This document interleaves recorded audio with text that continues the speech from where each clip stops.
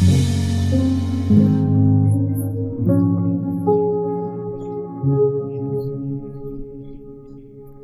prayer for peace when you're having a hard time pausing. Written and read by Carrie Eichberger. 1 Samuel 12 16 says, Now then, stand still and see this great thing the Lord is about to do before your eyes. There's something I don't always like to admit, but truth be told, I'm a get stuff done kind of girl. I try to take matters into my own hands in hopes of moving toward making things happen. Because when I know what I want or think I need, it just seems natural to me to start stepping, sometimes running, in the direction that appears will get me there.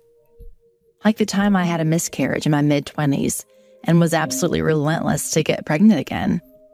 Or my post college single season when I lived desperately to find a husband or a more recent lingering phase, a couple years ago, when I just knew God was calling me to write my first book, and I hardly even exhaled until I landed a publisher, then continued the breathless racing through pushing the message out into the world. Honestly, my anxious or eager energy can consume and control any given day when tasks my to do list are lingering. As a Christian, this is quite embarrassing to confess. Because all this craziness sure does scream, I believe I am in control of my life.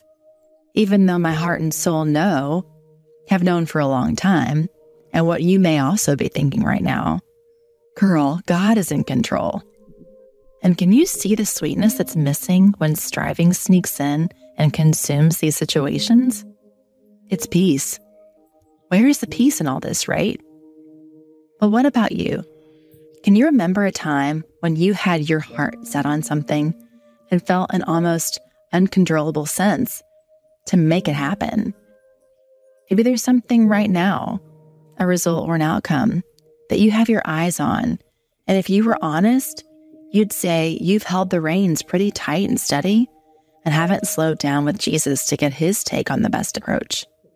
And if you have stopped and consulted with the Lord, Maybe you're finding you forget to return your eyes to Him again and again as anxious waves start to sweep over you and you try to run right past Him.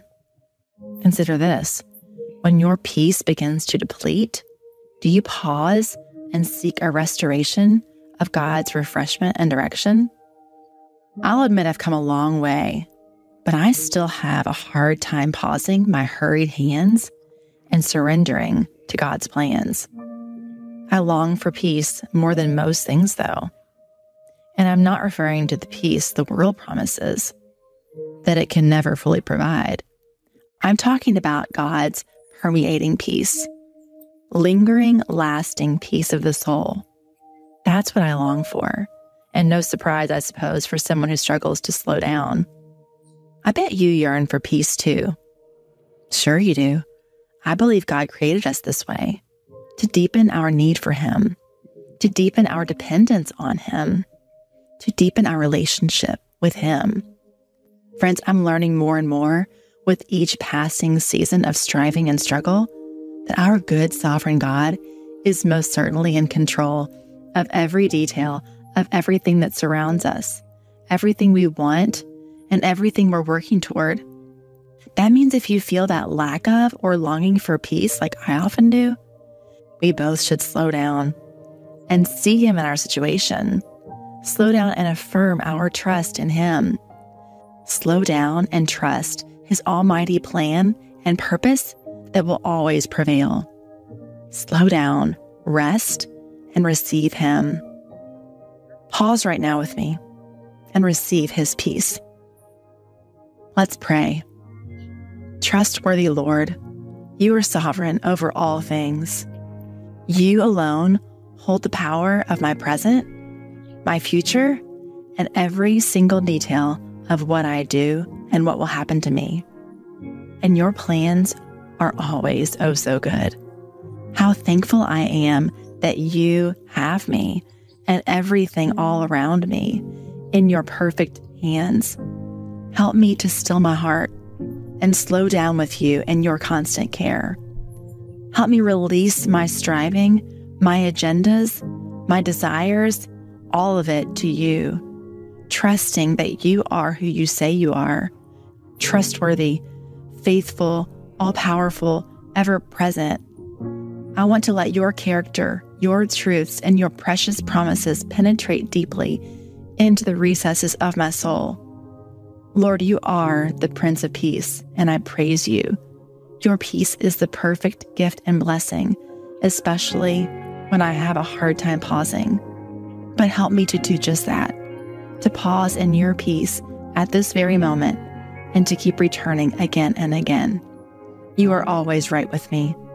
Your peace is always available to me. I thank you and I love you. In your Son's bountiful name, amen. Your Daily Prayer is a production of Life Audio and Salem Media. If you liked what you heard today, please take a second to rate and review this podcast in your favorite podcast app so that more listeners like you can find the show. For more faith filled, inspirational podcasts, visit us at lifeaudio.com.